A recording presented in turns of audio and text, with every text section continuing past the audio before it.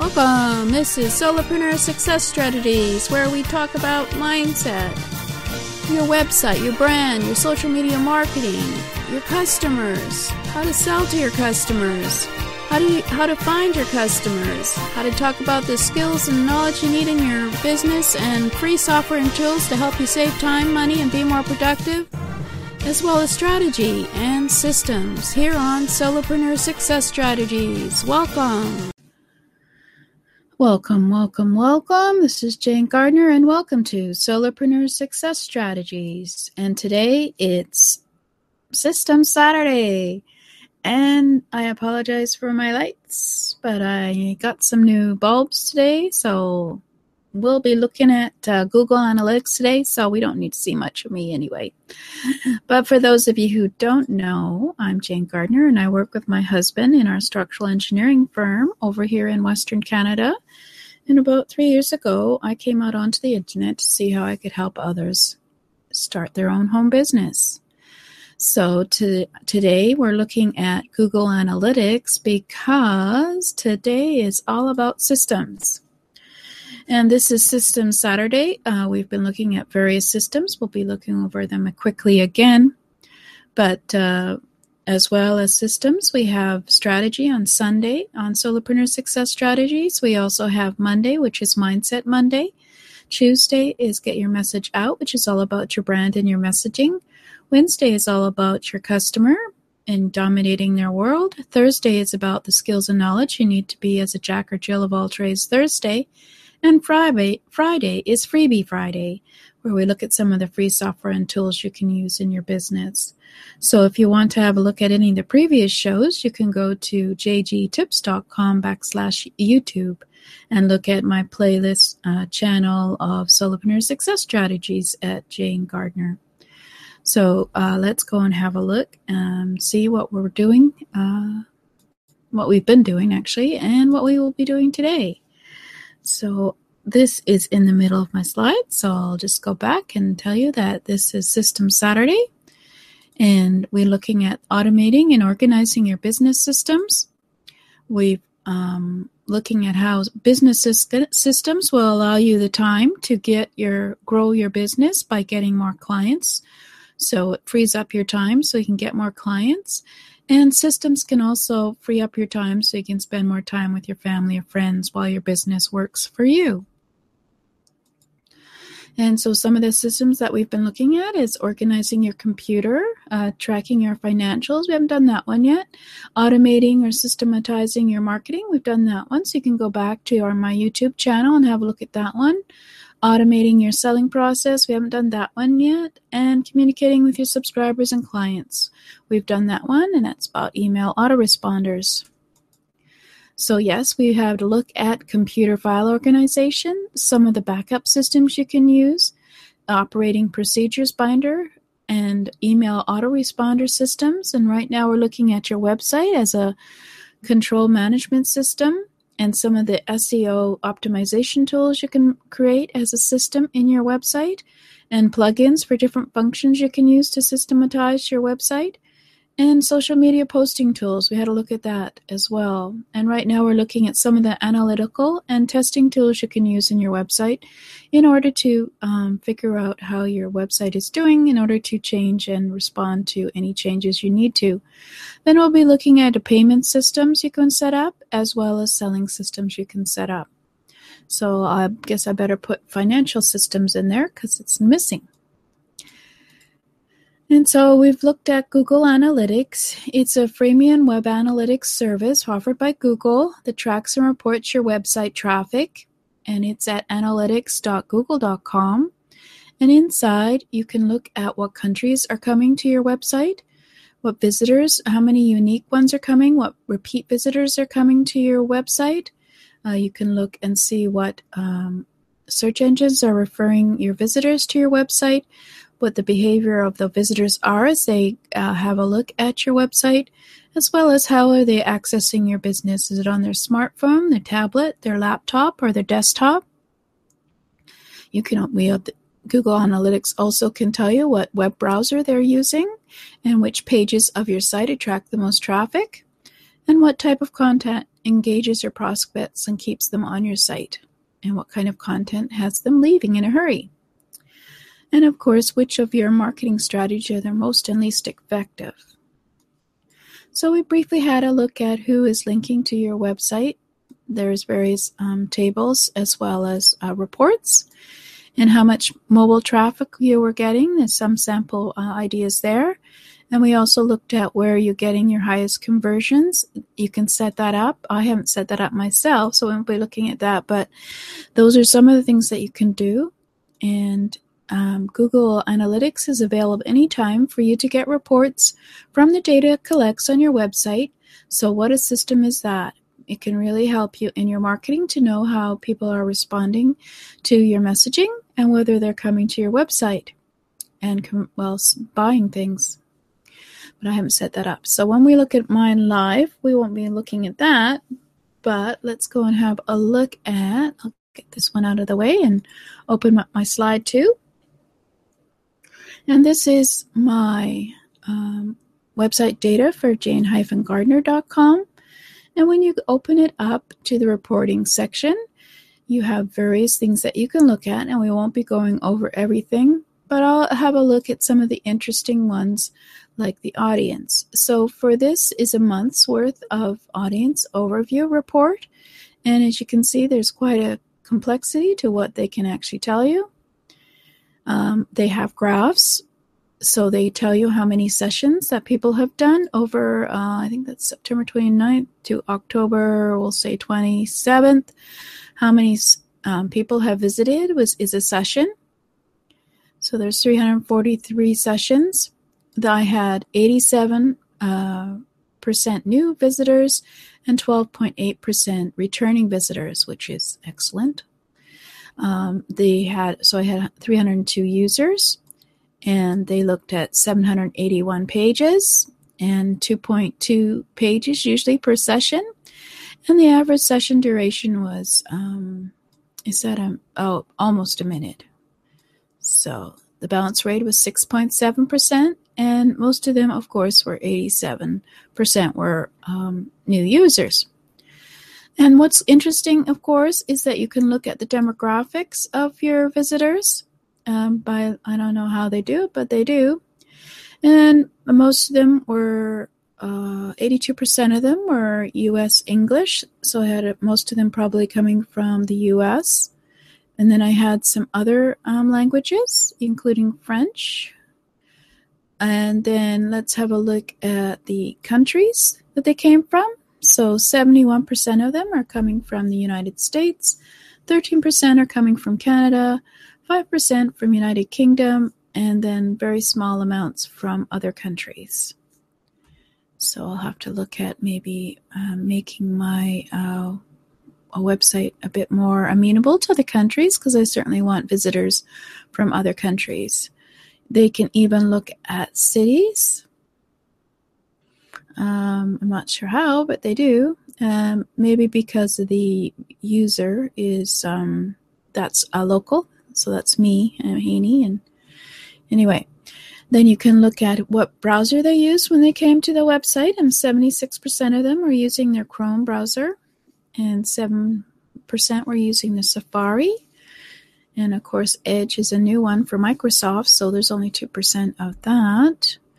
And then the operating systems, uh, 62% were on Windows and 22% were on Macintosh. For those of you on audio, just so you know, I'll read some of them out. And 4% were on Android, and iOS is smartphone, I think, for iPhone. So that's 3.79% were on my on the operating system for the that. And then the you can even tell you what um, uh, service providers, which are basically companies.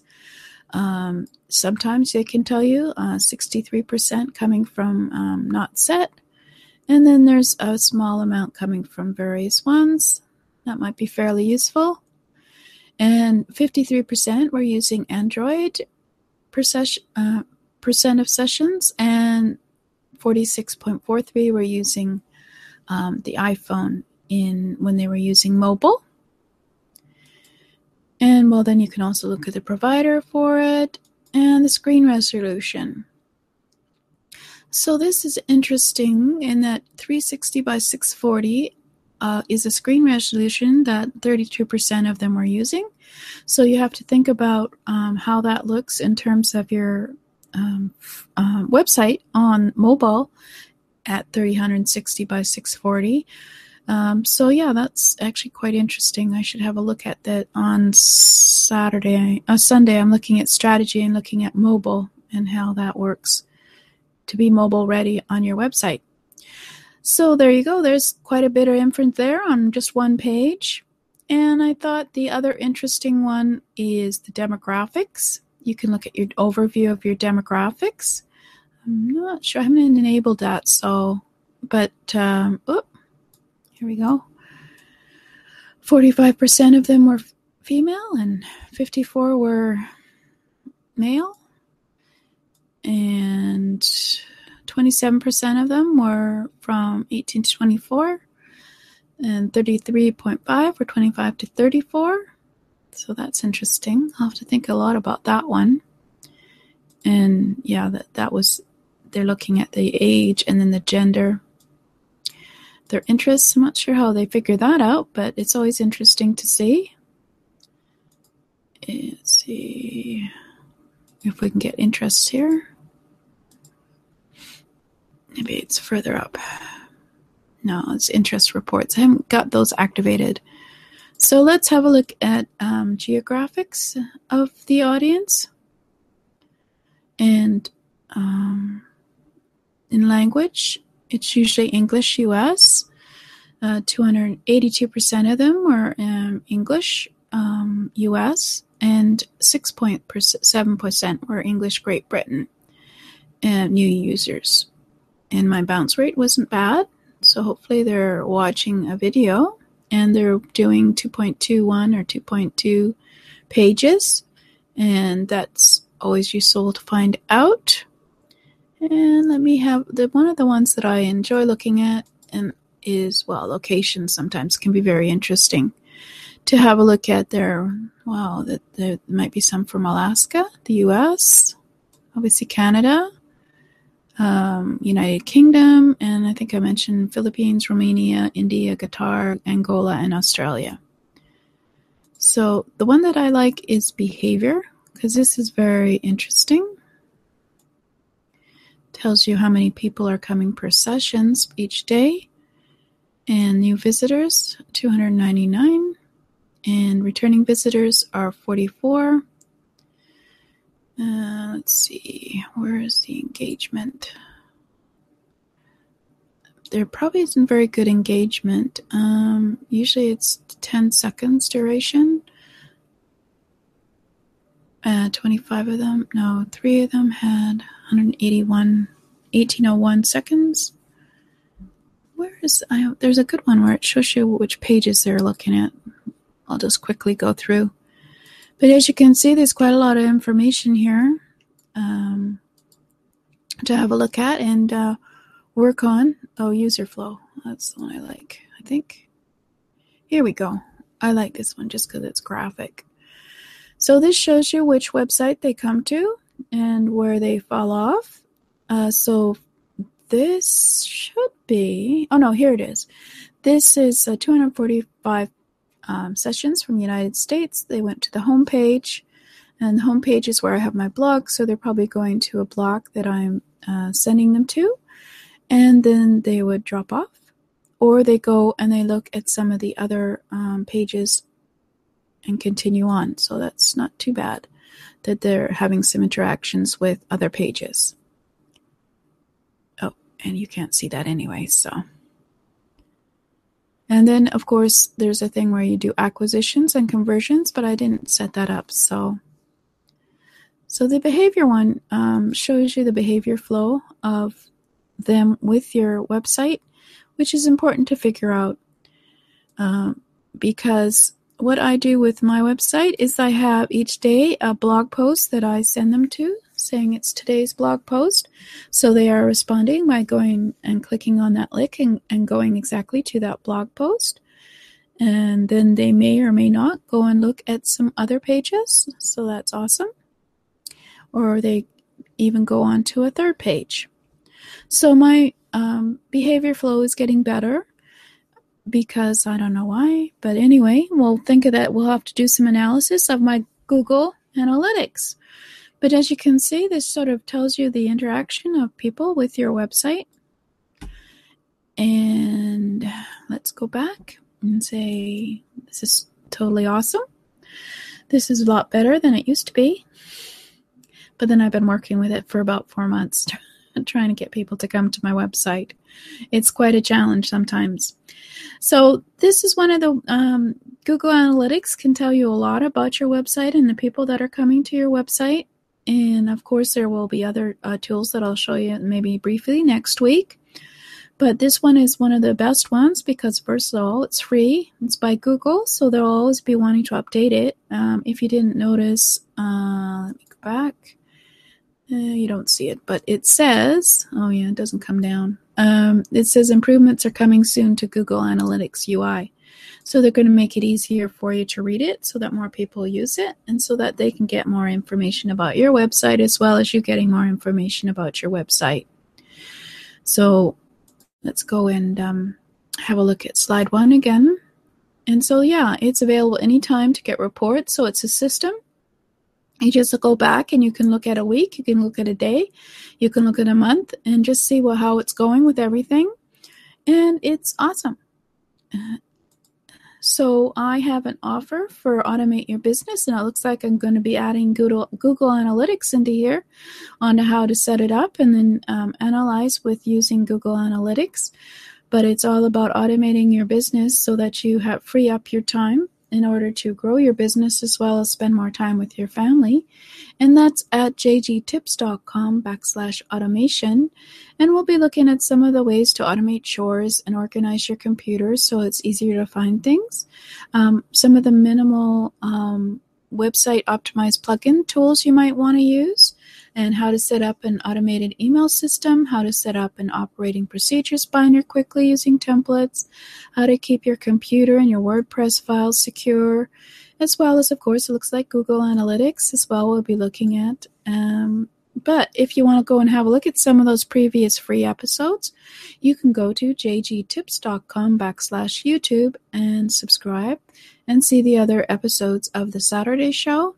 So you can look just um, back in time and, and you'll see they're all listed there with titles so you can see which one you, would be interested in to have a look at.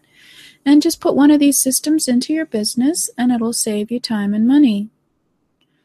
So please um, consider subscribing, commenting, and liking on my YouTube channel, as well as coming and interacting with me on my website at uh, janegardner.com and I have implement.club where we are looking at implementing these various strategies, including automation, in order to uh, grow your business.